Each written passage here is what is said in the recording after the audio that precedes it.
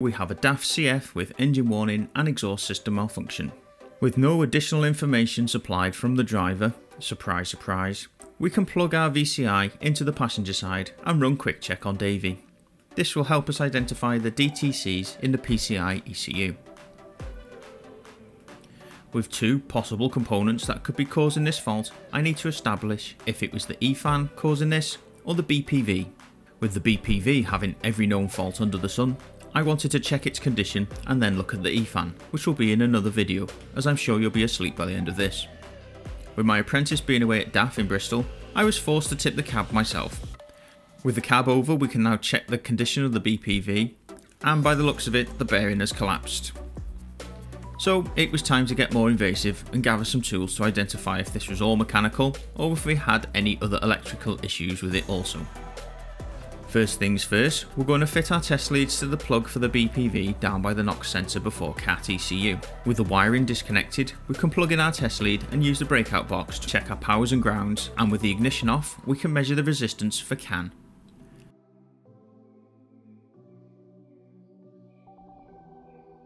With this out the way, I'm more than happy to replace the BPV now, so we can get the coolant out of the vehicle.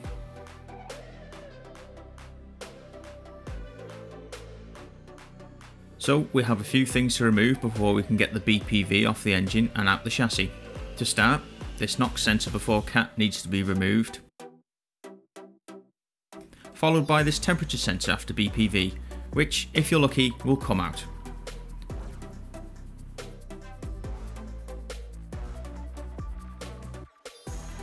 Next we'll need to take the fuel dosing valve off this injects extra amount of fuel directly into the exhaust gas stream causing temperatures to rise to around 550 degrees during regeneration.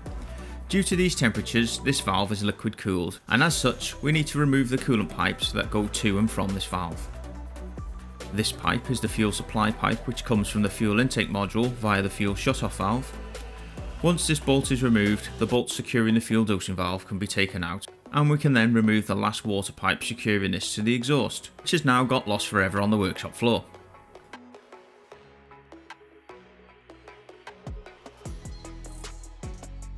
We now need to remove the coolant pipes to the BPV. Yes, more bloody coolant pipes.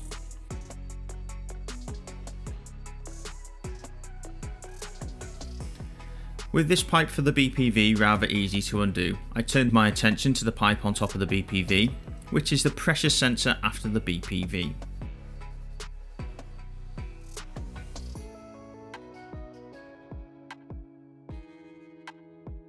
With me running out of components to remove above, I head under the truck and remove the downpipe clamp and ensure it's loose before I start to remove this nightmare of a clamp bolt.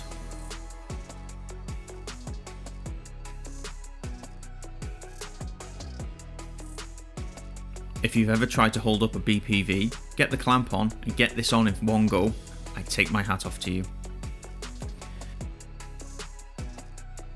With the clamp off, we can wrestle the BPV loose and out the chassis.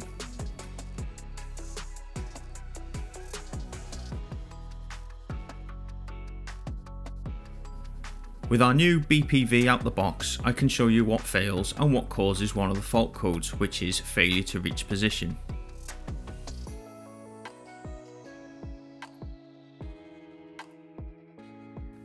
As you can see, the butterfly valve bearing has collapsed. This is operated by the electric motor, and when the vehicle attempts to regenerate, it usually fails to reach its target position, throwing a DTC. Unfortunately, the butterfly valve and bearing is a non-replaceable item, and the whole BPV assembly needs to be replaced.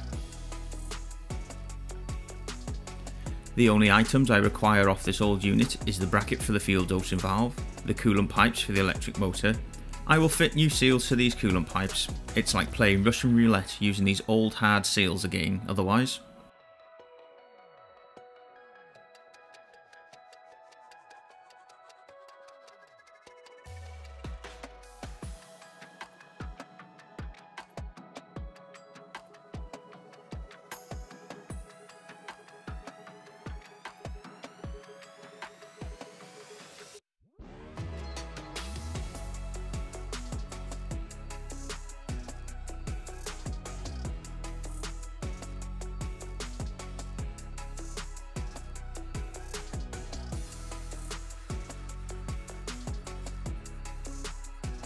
Another thing I won't mess about with is the boss for the NOx sensor. I never had much luck getting these out so I always fit a new one.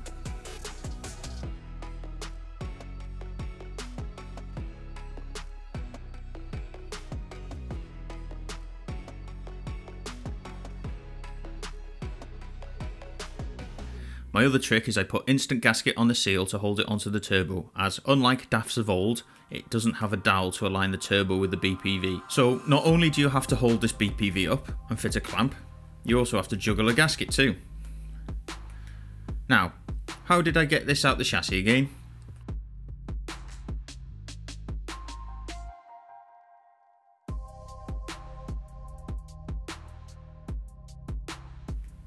With the help of my friend Gravity, I get the BPV in and slip the new clamp in between the turbo and the BPV, but to my surprise I got them together and the clamp over relatively quickly. With the clamp tight I can start rebuilding the components, first with the pipe for the pressure sensor, next the temperature sensor and finally the NOx sensor. With the sensors out the way, I can refit the coolant pipes and the fuel dosing valve.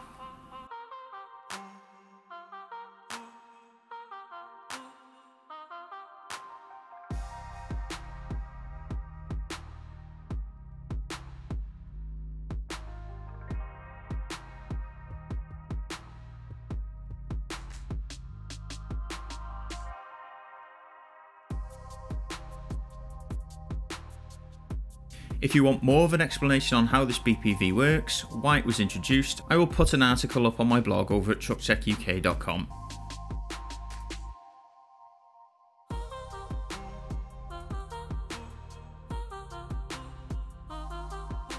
With a few things left to go now, like plugging in this damn thing, we won't be needing these test leads now, so they can fuck off. We can get this plugged in, powered up, and the clamp on the exhaust while we're down here with my favourite impact gun.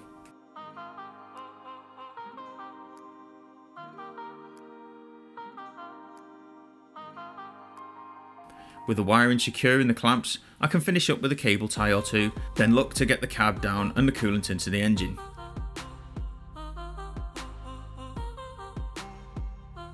With me still mourning over the loss of my electric coolant pump, I'm forced to use this poor man's coolant pump, I mean watering can, to refill the radiator.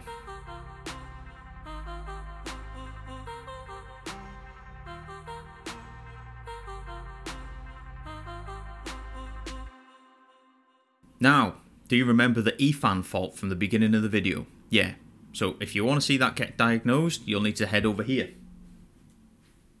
Somewhere. But not right now, as I've not done the video.